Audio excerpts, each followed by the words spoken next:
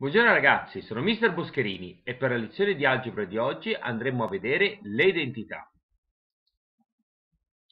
Nell'unità precedente abbiamo introdotto il concetto di espressione letterale, ovvero un'espressione che contiene sia numeri che lettere. Ecco, oggi in questa nuova unità sull'equazione andremo a vedere le identità. Quindi cosa dovremmo fare? Dovremmo essere in grado, alla fine di questa lezione, di distinguere tra uguaglianze numeriche e uguagliali, tra quest'ultime dovremo essere in grado di identificare le cosiddette identità e infine dovrete essere in grado di verificare se effettivamente un'uguaglianza letterale è o no un'identità. Come dicevo appunto noi abbiamo eh, nelle scorse lezioni definito le, le, espressioni letterali e le espressioni numeriche. No, quest'ultime sono espressioni che contengono solo numeri e segni di operazione, le espressioni letterali sono espressioni che contengono numeri e lettere e segni operazione. A questo punto noi possiamo definire due tipi di uguaglianze. Le uguaglianze numeriche, cioè uguaglianze tra espressioni puramente numeriche, quindi numerica quando sono uguaglianze tra espressioni che contengono solo numeri. Ma a questo punto possiamo introdurre anche le uguaglianze letterali, ovvero uguaglianze tra espressioni che possono anche contenere lettere. E per capire se abbiamo davvero compreso questo concetto, vediamo subito degli esempi. No? Quindi abbiamo quattro uguaglianze, alcune di queste sono uguaglianze numeriche, alcune sono uguaglianze letterali. E ehm, una piccola precisione simbolo sta per il segno di moltiplicazione, non sta per la x. Ecco, io vorrei che metteste un attimo in pausa questo video e pensaste, cioè vedete se da soli riuscite a identificare quali sono uguaglianze numeriche e quali sono uguaglianze letterali. E vediamo allora qual è la soluzione.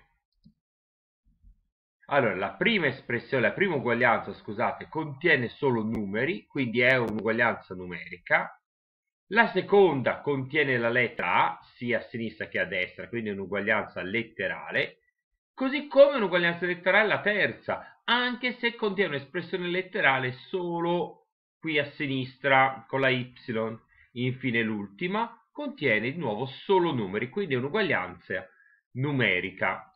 Quindi ora che sappiamo che cos'è un'uguaglianza letterale, vediamo il caso particolare dell'identità e vediamo subito la definizione. Un'identità è un'uguaglianza letterale che è verificata, verificata significa che è vera, che è, che è giusta, qualunque sia il valore attribuito alle lettere che ne essa compaiono. Cioè, se io vado a sostitu sostituire, scusate, un numero qualsiasi al posto delle lettere che ci sono eh, nelle due espressioni, questa uguaglianza è sempre vera. Ed ecco un esempio molto molto semplice.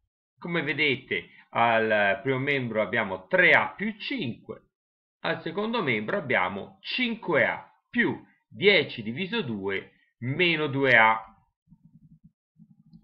E come vediamo che è un'identità? Intanto consideriamo la prima espressione. La prima espressione è già ridotta ai minimi termini perché abbiamo il monomio 3a, il numero 5 non si possono sommare, quindi lo dobbiamo lasciare così come sono. Nella seconda espressione invece abbiamo due monomi simili, vedete li ho identificati con due segni grafici uguali, 5a e meno 2a, li vado a sommare, ottengo 3a, e poi 10 diviso 2, 10 diviso 2 che fa 5. Come vedete ho ottenuto due espressioni identiche, ed è chiaro che se ho due espressioni identiche alle due parti dell'uguaglianza, queste saranno vere qualunque sia il numero che vado a sostituire là. Quindi è un'identità. In classe vedremo altri esempi di espressioni eh, letterali e vedremo quando sono o quando non sono delle identità. Ma per oggi è tutto, arrivederci alla prossima lezione da Mr. Boscherini.